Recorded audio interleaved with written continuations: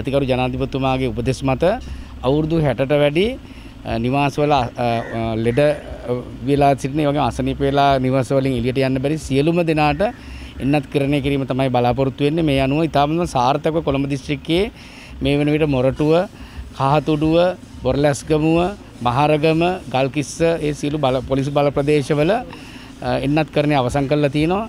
ඒ වගේම අද දවස වෙන විට කොළොන්නාව ප්‍රදේශය, ඒ වගේම කඩුවෙල ප්‍රදේශය, හෝමගම් ප්‍රදේශයේ එන්නත් කරණය කරගෙන යනවා.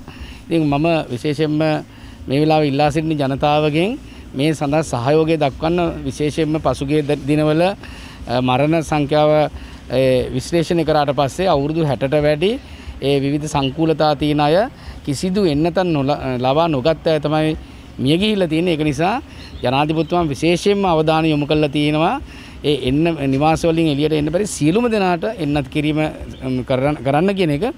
ඉතින් ජනතාවගෙනුත් මේ සම්බන්ධයෙන් සහයෝගය දෙන්න ඕනේ. මොකද ඇතැම් ස්ථානවල අපි ඒ ගැන විමසිලිමත් කරාට පස්සේ සමහර පුද්ගලයන් එන්නත් සඳහා සහදීමක් නොවන බවක් පේනවා. ඉතින් ඒක නිසා මේ වෙලාවේ සෞඛ්‍යංශ වලින් දීලා දෙන උපදෙස් අනුව අනිවාර්යෙන් මේ සඳහා සහයෝගය දක්වන්න ඉදිරිපත් වෙන කියන එක තමයි කියන්නේ. රට තවදුරටත් අගුළු දාන්න කියලා ඒ වගේම ලොක්ඩවුන් කරන්න කියන එක සජිත් ප්‍රේමදාස මහත්තයා ඒ වගේම අනුර කුමාර දිසානායක කියන්න පටන් ගන්න තියෙනවා. හැබැයි ඒ එදා පෙළපාලි යනකොට මේ දේ මතක් වුණා නම් මේ සෞඛ්‍ය පුරුදු මතක් වුණා නම් මේ ලෝකේම මේ දැවැන්ත වසංගතයකට ගොදුරු වෙලා කියලා මතක් වුණා නම් ඒ මේ අපරාධ වෙන්නේ නැහැ. රජය මේ වෙලාවේ සම්පූර්ණ ශක්තිය යොදලා රජයේ සීලුම ඒ සම්පත් යොදලා ජනතාව බේරගන්න ක්‍රියාන්විතයේ ඉන්නවා.